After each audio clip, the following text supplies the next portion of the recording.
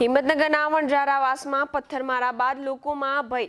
વણઝારામાં વાસમાંથી સ્થાનિકોએ કરી હિજરત ઘર વખરી અન્ય સામાન લઈને અન્ય સ્થળે જવા નીકળી ગયા. સાતથી આઠ પરિવારો પોતાનું ઘર છોડીને અન્ય સ્થળે જવા નીકળ્યા. હિંમતનગરના વણઝારાવાસમાં પથ્થરમારાનો મામલો હિંમતનગરમાં વધુ એકવાર પથ્થરમારો થવા ઘટનાની ઘટના બની છે. ગતરોજ શહેરના વણઝારાવાસમાં પથ્થરમારો થયો છે. બે ટોળા સામસામે આવી જતા પરિસ્થિતિ વણસી હતી. આ ઘટનાની જાણ થતાં જ પોલીસ ઘટના સ્થળે પહોંચી હતી અને કાર્યવાહી હાથ ધરી હતી. પોલીસ ઘટના સ્થળે ભીડ પર કાબુ મેળવવા માટે છ ટીયર ગેસના સેલ છોડ્યા હતા. બીજી તરફ આ ઘટના બાદ વણઝારાવાસમાં કેટલાક સ્થાનિકોએ વારંવાર હુમલો થવાના કારણે પોતાના માલ સામાન લઈને અન્ય સ્થળે હિજરત કરી રહ્યા છે.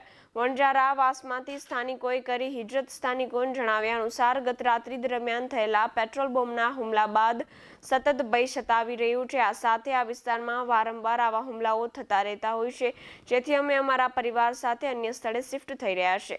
ઉલ્લેખનીય છે કે ગત રાત્રિના દરમિયાન પેટ્રોલ બોમ્બના હુમલા બાદ નાના બાળકો ભયનો માહોલ ફેલાઈ ગયો છે. બીજી તરફ આ ઘટના બાદ વણઝારાવાસમાંથી બનેલી ઘટના બાદ સાતથી આઠ પરિવારના પોતાના ઘરબંધ હિજરત કરી રહ્યા છે. ખંભાતમાં ચુસ્ત બંદોબસ્ત વચ્ચે શાંતિપૂર્ણ માહોલ. બીજી તરફ હિંમતનગર બાદ ખંભાતમાં પણ રામનવમીની શોભાયાત્રા દરમિયાન બે જૂથ વચ્ચે પથ્થરમારો થયો હોવાનો બનાવ બન્યો હતો. જે બાદ જિલ્લા પોલીસ વડા દ્વારા ખંભાત શહેરના તમામ વિસ્તારોમાં શાંતિપૂર્ણ માહોલ બનાવવા ચુસ્ત પોલીસ બંદોબસ્ત ગોઠવી દેવાયો હતો.